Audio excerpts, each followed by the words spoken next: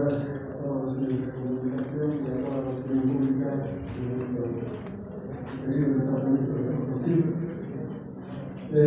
Concluyendo la jornada del COE de esta tarde, hemos determinado, o hemos llegado a la primera de conclusión, mantener la cuarentena condicionada eh, desde el primero al 30 de junio del presente año.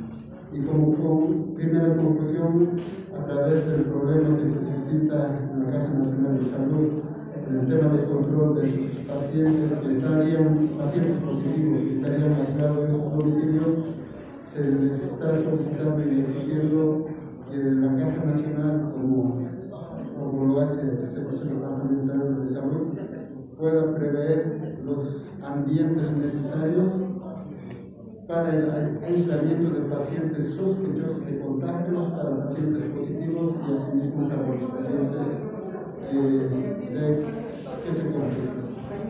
Como segunda determinación se asume para el próximo COE, que se estaría llevando a cabo el día jueves de aquí a una semana,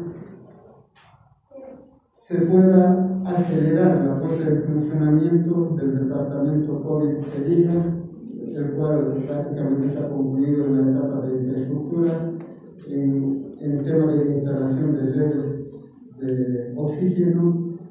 Actualmente se está trasladando el tema de equipamiento tanto del Hospital Daniel Bracamonte que están disponiendo y asimismo las adquisiciones que ha realizado el CERES Potosí.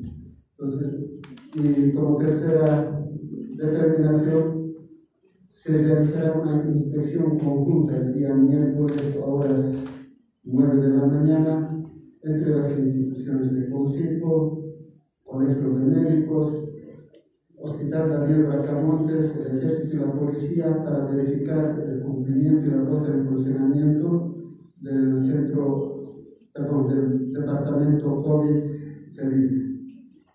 También se está asumiendo el compromiso de que la gobernación debe colaborar en el cierre de los accesos clandestinos que tiene la ciudad de Potosí para evitar eh, la transitabilidad de las movilidades que vienen sin ninguna medida. Y asimismo se asume el compromiso de organismos de bioseguridad tanto al ejército, a la policía, entre tanto de esta pandemia o esta cuarentena. Uh, sí. Estas son las determinaciones del COE en esta jornada.